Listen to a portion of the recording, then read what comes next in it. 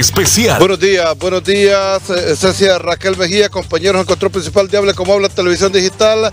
Así es, agentes de la Agencia Técnica de Investigación Criminal, la Fiscalía Especial de Delitos contra la Vida, el Ministerio Público y elementos del primer bateón de la Policía Militar del Orden Público ya realizan allanamientos en este sector de las riberas del río Choluteca, en la parte eh, norte del puente Estocolmo.